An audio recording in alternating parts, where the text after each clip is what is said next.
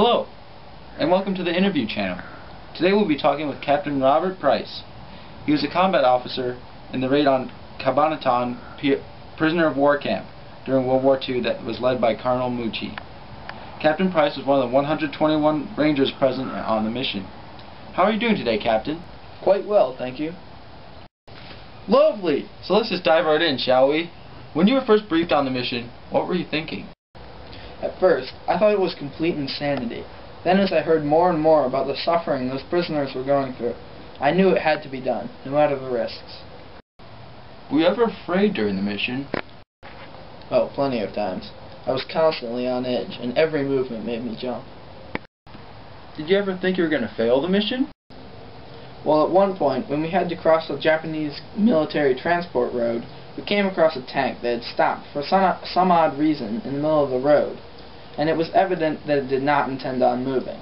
In order to get past the road, all 121 of us had to crawl below a bridge on which the tank was sitting.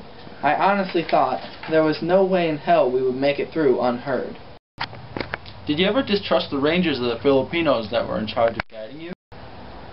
I always had faith in my rangers. They were the best of the best. The Filipinos were another matter. Although most Filipinos were on the American side, not every group was, and I'll admit I did have my doubts about our guide's loyalty once or twice.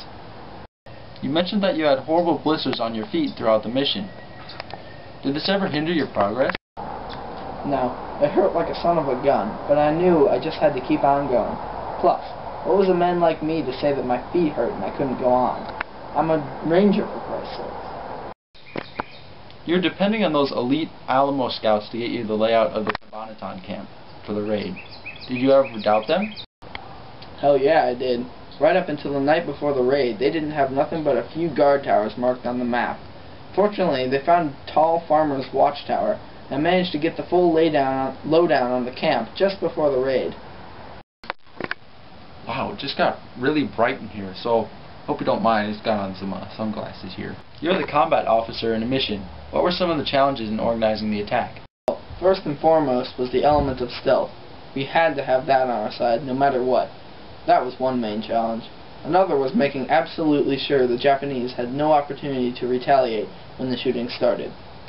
What was the main thing, main thing that you thought would go wrong?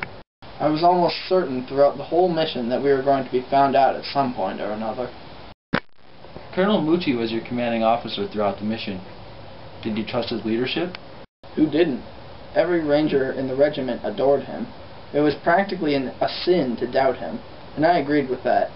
He was one of the smartest men I ever knew. What were you thinking when you crossed back into American lines with all the POWs?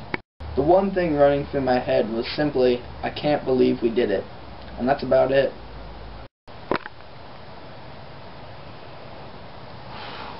Wow. What an incredible story, Captain. Well, that's all the time we have this week on the interview channel. Make sure to tune in next week on the interview channel for another interview.